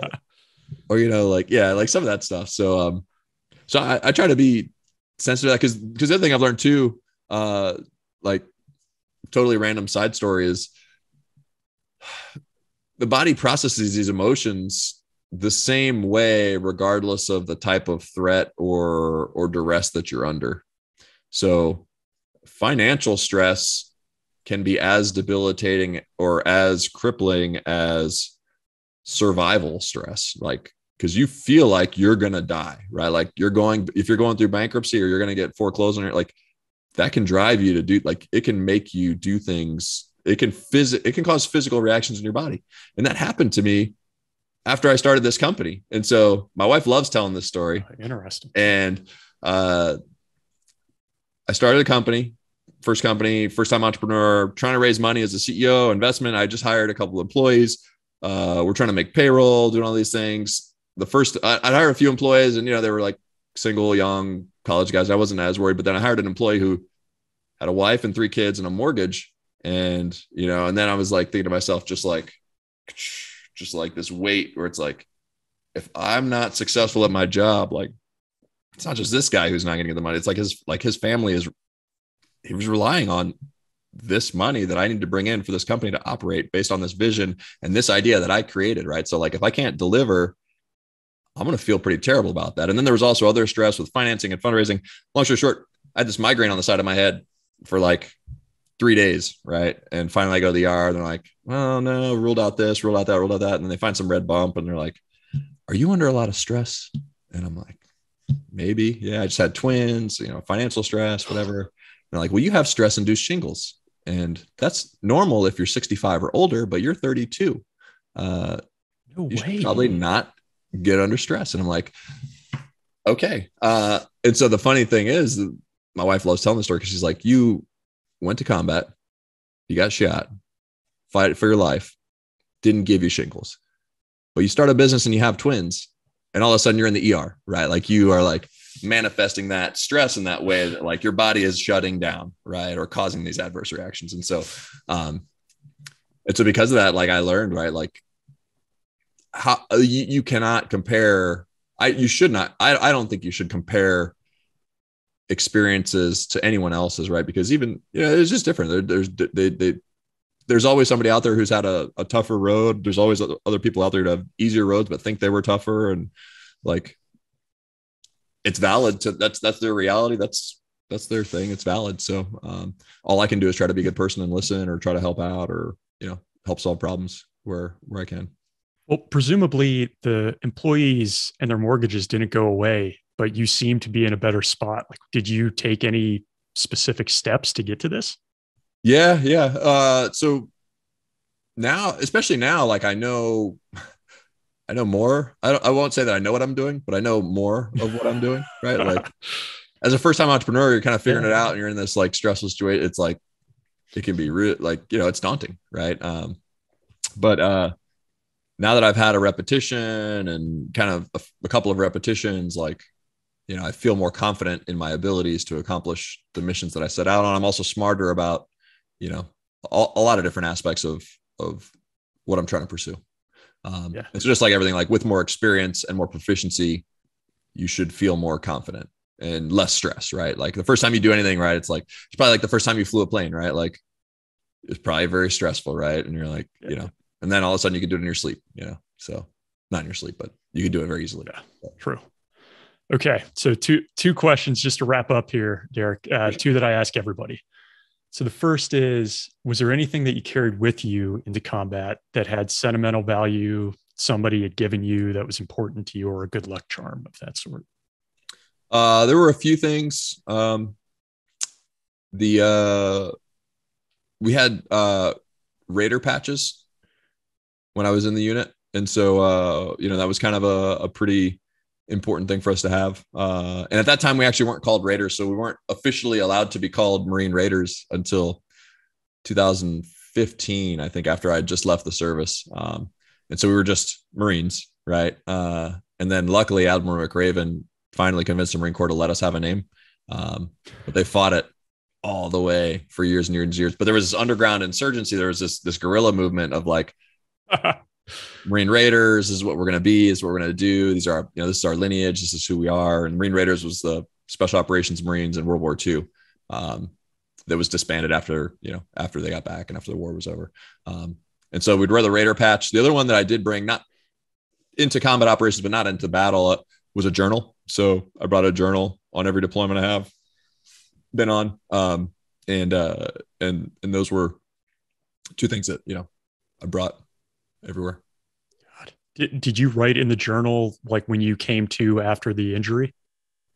No, uh, because I didn't have it. So I, I, I didn't have it on me. It was in my okay, know, yeah, of course, the base, yeah. and then it was actually probably like a month or two because the guys had to pack up my stuff and ship it back and whatever else. But I have those now, and like looking back on, I'm like, there's a lot of stuff happened that I I forgot, right? And so actually, just the other day, I was just reading through it, and I was like, man, I totally forgot. Like that was a really interesting day, right? Um, you know, and so those those are things that I'll cherish for a long time. Yeah. I, I regret not keeping one. And I, I, can only imagine if you went back and you're you're like, so a lot's happened in the past month here. Let me let me update you on on my life now. Oh, that's crazy. Okay. So last question. Yeah. Um, looking back on on this time, you've suffered more than most, I would say. Now, would you go back and do that experience again? The military, the Marine Corps, all of that again? Yeah, no question yeah, I, I, I talk a lot of people about this. I, have tried to mentor, you know, people considering joining the military and everything else. And, um, uh, it's different now, right? The military is different now, but, um, the end of the day, the way I try to frame this is, uh, there's a cost to, uh, to obtain things, right? Whether it's a product or an experience or lifestyle or profession, like there is a cost associated with any line of work you want to go into, any school you want to get into, uh, the best thing you can do is educate yourself on what uh, what you know the costs are of obtaining what you want to achieve. And as long as you know that going in, then go for it, right? And I don't say physical costs like injury. I, am talking about like you know a lot of the other stuff uh, that you have to do, right? So like when you when you sign up to go in, like if I want to be a marine or a special operator, like I have to be willing to you know move every three years or have to be willing to, you know, like all, all the stuff you have to do in order to achieve that goal or that title or that profession, like uh, it has a cost. And you just have to know what the costs are and and do that. And so like I was talking to a young, you know, uh, college, you know, future uh, college kid who's about to graduate and wants to be a Marine officer or anything else. And so I've just been explaining to him all that. And, you know, uh, and for me, I wouldn't change anything, right? Like, you know, the experiences I've had to date, all the things I've learned, all the people I've met, um, irreplaceable, right? Like, and, uh, and, and invaluable. Um, and, you know, couldn't, couldn't, couldn't imagine, uh, my life any better than it is now. Man. God. Well, I'm, I'm so appreciative of the time. I wish you so much luck with with these technologies you're building out that are actually going to help people who really need it. So thanks for spending the time with us and sharing, Derek. It's uh, been a lot of fun, man. Thank you. Pleasure's all mine, and uh, really appreciate the opportunity to come on and, and chat. So thank you so much, Ryan. Our first comment is an Apple five star review from B Dews. And it says, as an ex Marine turned truck driver, I want to thank you from the bottom of my heart for doing this podcast week in, week out. I've searched long and hard for any and all military related podcasts to listen to to get me through parts of the day on the road. This is by far the greatest military podcast out there. So easy to listen to and so personal. It's great to hear how others conquer their combat struggles and how they move forward from them, as well as their success post military career. Thank you again, Ryan, for being such a great interviewer and for the amazing show, Semper Fi. Thanks so much for leaving that. Uh, means a ton to hear that from you. I know there's a lot of other podcasts out there, and truthfully, we're not competing. Um, it's all just telling stories, and, and there's nothing but abundance. But I really do appreciate that you find ours and find the time to listen to it. And I also pull some of the same lessons and meanings out that uh, that you're talking about here. How people have overcome some of their struggles and filled the gap or the void that they have when they leave the service. So, um, for you in particular, please stay safe as you're out there on the road. And uh, thank you for taking the time to leave this. Our second comment comes from another YouTube listener, Chris Amos 412, and it's on the Eric Breathen interview, who many of you will recall was a 19 year old warrant officer in Vietnam flying single pilot loaches in some incredibly intense combat scenarios and he says, It was an honor and pleasure to hear Eric's combat experiences. I appreciate your service to our country. Thank you, Ryan, for interviewing Eric. You make it look easy. It's a real joy to watch. Man, uh, that means a ton to me. Eric is a uh, friend of my father in law's, and um, never would have found him without my father in law connecting us. But I think when you've heard what he went through and some of the antics, it's part of the reason you love the fact that you can go high school to flight school be a 19 year old out there in combat because you need somebody who who doesn't mind mixing it up and getting crazy. And Eric was one of those guys. So it's really cool to hear his stories uh, years later. Thanks for taking the time to leave that, Chris. Stay safe, y'all.